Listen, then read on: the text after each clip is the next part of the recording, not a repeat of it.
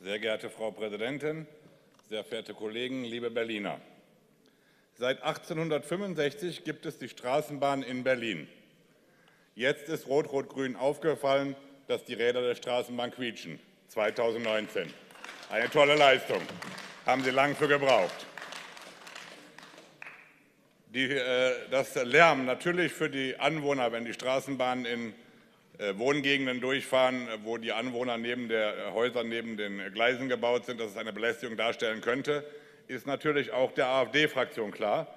Und das Beste ist, Anwohner nicht mit Lärm zu belästigen, ist eine, nicht eine Lärmverringerung, sondern eine Lärmvermeidung.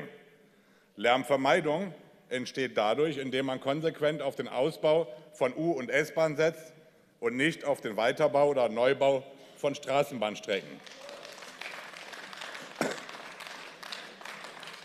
Denn wenn wir U-Bahnen bauen, entsteht der Lärm in dem Tunnel und belästigt nicht die Bürger, die Anwohner. Und äh, damit äh, sind leise Gleise für Straßenbahnneubau nicht mehr nötig. Statt hier Flickschusterei zu betreiben, sollten wir lieber direkt an die Zukunft Berlins denken.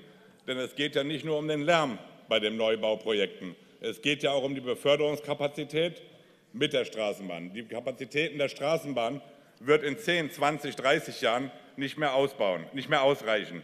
Das heißt, Sie bauen jetzt eine Straßenbahn für viele Millionen oder Milliarden Euro, bauen dann noch leisere Gleise für noch ein paar Millionen Euro dazu, tun noch ein paar Laufflächenkonditionierungsanlagen bauen und in 20, 30 Jahren merken Sie, wir müssen doch eine U-Bahn bauen.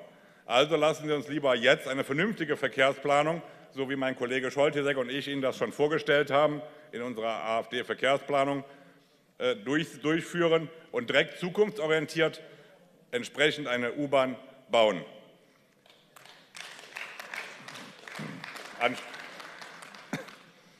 Wir äh, werden natürlich Ihre Anträge im Ausschuss entsprechend noch mal im Detail äh, besprechen.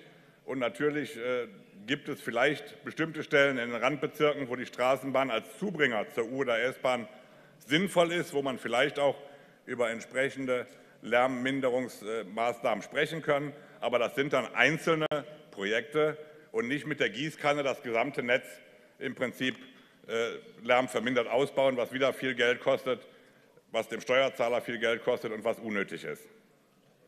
Darum lassen Sie uns die Details im Ausschuss besprechen. Und ich freue mich, dass wir dann weiter über Ihren Antrag reden.